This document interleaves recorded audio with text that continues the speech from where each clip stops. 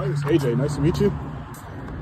Oh, what's your name? Uh, nice to meet you, Maria. I actually stay on Avalon Boulevard. I'm actually here.